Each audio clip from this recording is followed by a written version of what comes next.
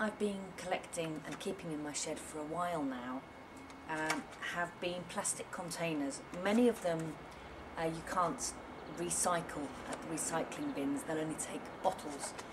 So I've been collecting things which I've been thinking would make good seed trays or even plant pots. These are ideal. They're old takeaway trays and they have a lid which if you got any old containers with lids as well, they're perfect as, as little mini greenhouses. You need to put some holes in the bottom for drainage, but these are going to be great. I'm definitely going to use uh, these in a little while.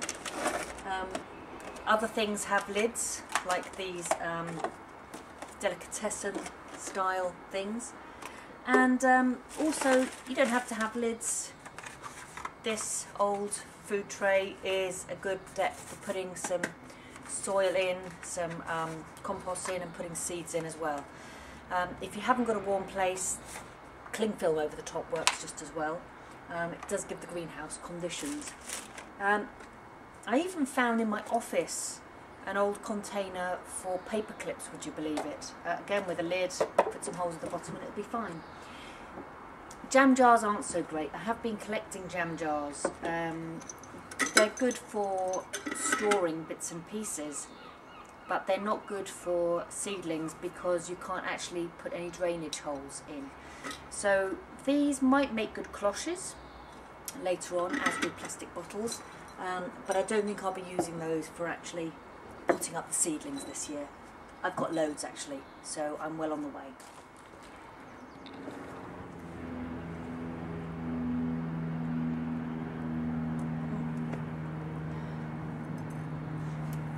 As well as looking around your own house and garden for things that you may have been collecting ready or are just left over from previous projects or years, it is worth keeping your eyes open when you're out and about walking around the streets. Just last night I was out posting a letter and in a public bin uh, was this blind, old bamboo blind, actually nothing wrong with it, um, but stuff like this is great for screening off areas that are a bit unsightly.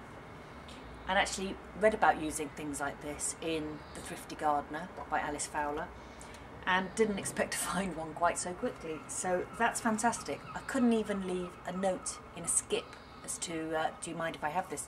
It wasn't in a skip outside a house. It was literally just in a big communal refuse bin.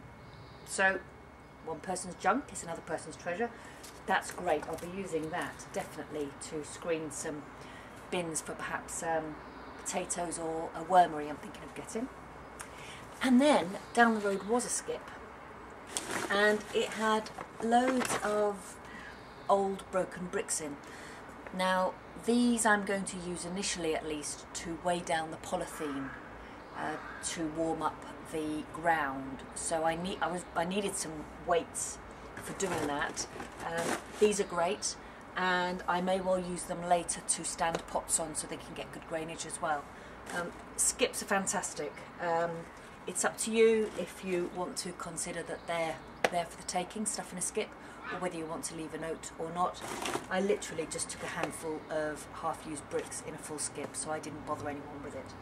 Um, there's loads of stuff out there for free, so keep your eyes peeled next time you're out.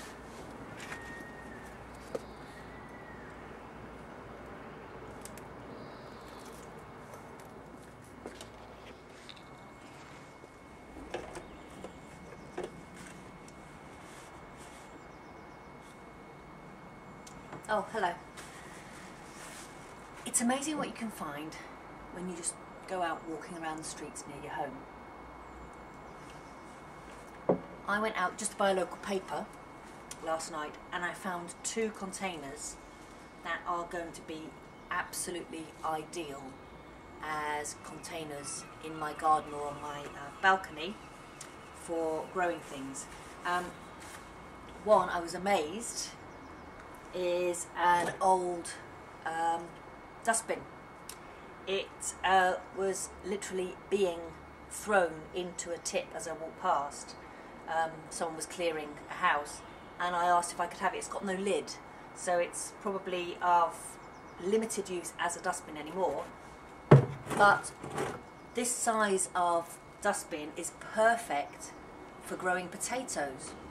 So that's what I'm going to use it for. Um, it's got a broken handle, but that doesn't matter.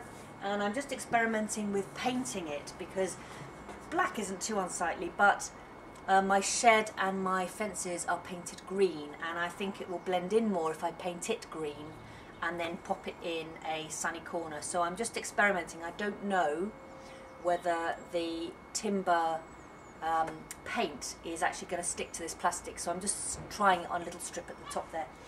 And then, same house, clearly redoing a bathroom or toilet and um, throwing out old um, old water cistern with the ballcock and everything in there. It's a bit, it's very in fact mucky in there, so I'm going to have to clean it out and I will have to stopper up the holes that have got the pipes coming out, although this bottom one might be quite useful for drainage.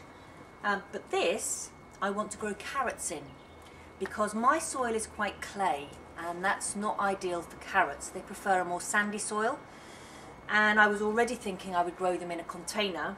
You need enough depth in the container but also uh, enough surface area to be able to grow enough to have a reasonable crop through the year. So this is going to be ideal.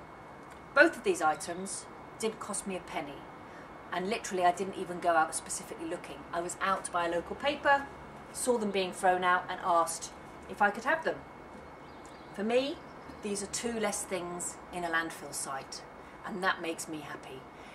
If you can find any containers around either already in your house and garden or that people are throwing out that will be ideal for growing things in, fantastic. I'm going to put some holes in the bottom, I'm going to see if this paint will take, and then I think these will be fantastic.